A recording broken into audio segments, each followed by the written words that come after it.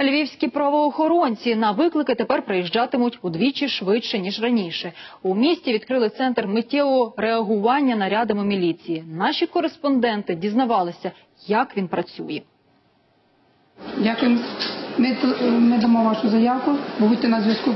Це міський центр миттєвого адміністрування нарядами міліції. Його мета швидке реагування на виклики. Оператор отримує дзвінки з гарячої лінії 102, вносить інформацію у базу. Черговий передає її наряду, який перебуває найближче до місця події.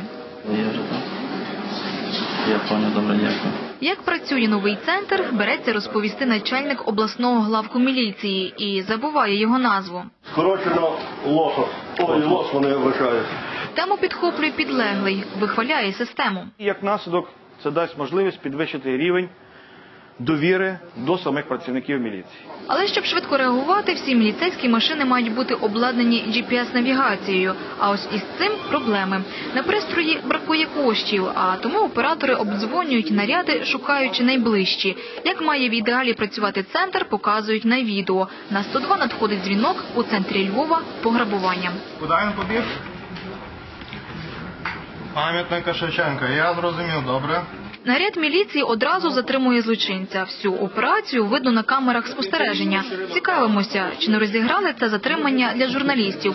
Правоохоронці спочатку все заперечують. Я не знаю, ми були всі свідками того, що робиться тут. Потім зізнаються. брехати. Оце от в реальному часі до вам цікаво показати.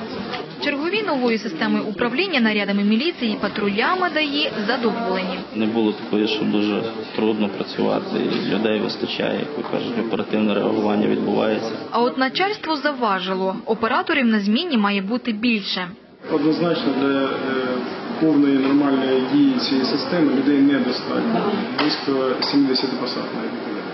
Втім, така система швидкого реагування на виклики не новинка для України. Близько року тому її вже запровадили в міліції Донецька. Щоправда, особливих результатів це не дало. У Львові обіцяють, помилки попередників першопрохідців врахують і не повторять, і здивують своїми результатами.